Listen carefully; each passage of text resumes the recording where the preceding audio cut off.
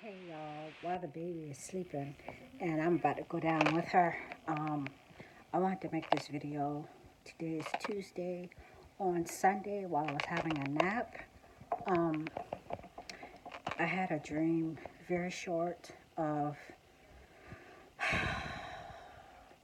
a hurricane that was down in the islands. Uh, it looked more like near the Bahamas, um, not so much near the Caribbeans like um, Karen is right now. Um, I can't say for sure, but like I said, it was down in the islands and it seemed to be like an Atlantic basin. So it, it would appear that it's it, in the dream that it was more like by the, uh, uh, what is that, the Bahamas. Um, I don't want to say that for sure. All I know is in the in the islands, and in the dream it was just hanging out there. And then I seen on the news it was a woman meteorologist, and she made the announcement that the storm um, was going to hit directly, like South Carolina, and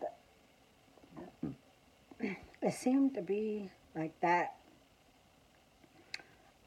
line that I placed, it seemed to be like a direct hit. It's like she's like, we're gonna have a direct hit or it's coming straight here.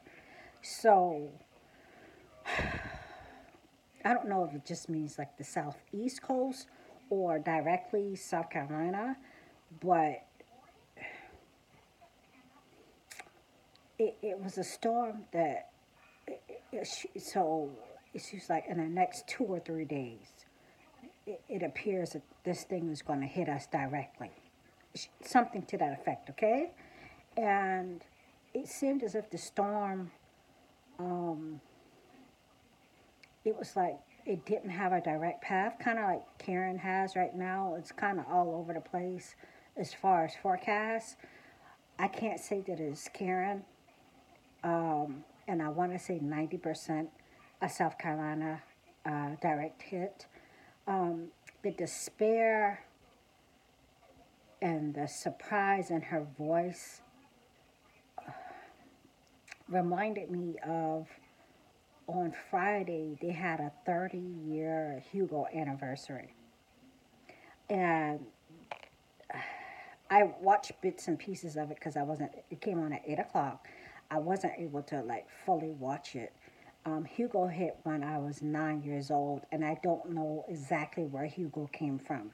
Maybe I should look that up um, because I wasn't able to see that. And back then, they didn't have, you know, the graphics. Surely they had the technology, but they didn't have the real live, uh, you know, good graphics.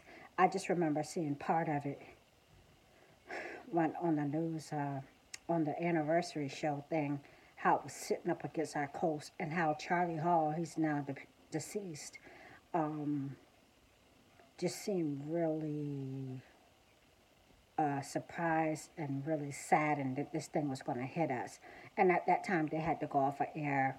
And at that time, also, uh, at the end of the broadcast, when they were saying, Here, we're going to go off air because this thing's about to hit us, he had a bunch of papers in his hand. So I'm not sure um, if this was a live type radar type thing, or they, you know, they might have been an hour or two behind, pitting up the graphics, kind of making it like a cartoon. I don't know. Some type of animation. I'm not sure how that worked back then. Um, I do remember watching that part. Um, so, just want to make this video because no one knows where Karen is going. I think we have two other named storms out. Um, it's a warning. Um, we prayed here in South Carolina. Um, they did uh, prayer before the news conferences.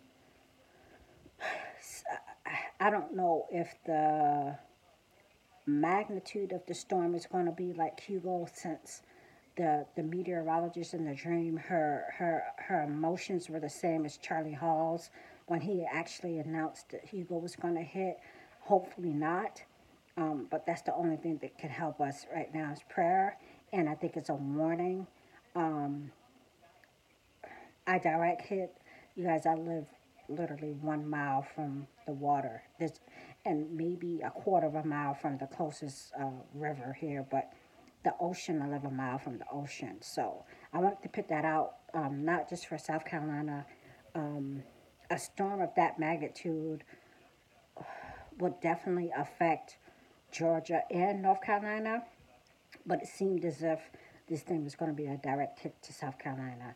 All right, you guys, I'm doing well. Had a doctor's appointment today. Um, my eyes 90% better. I can see. Uh, it's just sleep deprived, okay? Um, and baby's doing good too. She's taking a nap. She's sleeping well throughout the night, but she's very alert and very, she just likes to get up and sit up and not lay down. I guess she laid down too much in NICU. So she likes to be up and moving and bouncing and uh, flipping. And um, so I think that's it. I am going to finish. I have my um, uh, dream up, up that I put out on January haven't finished watching it, but a sister reminded me something about the elections. I'm not sure what's going on here in the last two days as far as the elections with uh, Benjamin Netanyahu, but I did put a dream out that my Jewish friend uh, was saying that they're trying to get Benjamin out. And we know that they already had elections sometimes back in April, and I think their other their other election um, was a couple days ago, if not Friday, I'm not sure. So I wanted to see what that was. They took her piece away that they were trying to get Benjamin Netanyahu out, and that was kind of apparent in the first elections back in April. I don't even know the results are, um, to be honest. So today's the first day. She's been home six days. I've had five appointments. So hopefully I'll be able to catch up on YouTube and see what's going on since I don't have any appointments for a couple of weeks. Okay, you guys? God bless y'all. A warning of this this this uh hurricane. Okay? God bless y'all.